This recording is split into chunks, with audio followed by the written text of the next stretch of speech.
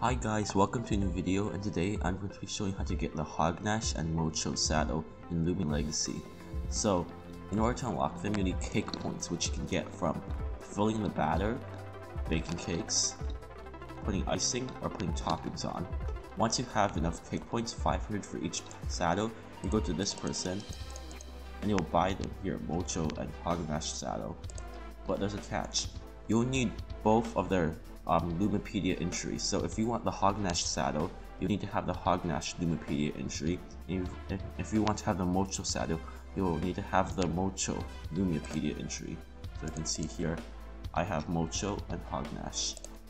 You can get Mocho Hognash from getting Mochibi or Cupoink in the grass here in the Sweet Retreat and then leveling them up.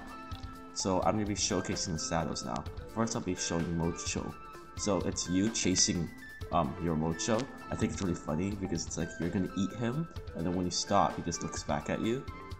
And then now, the Hognash saddle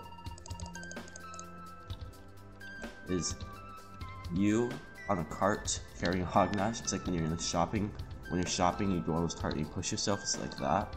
I think they're all really cool saddles, so you should go get them. Thanks for watching this video and like and sub.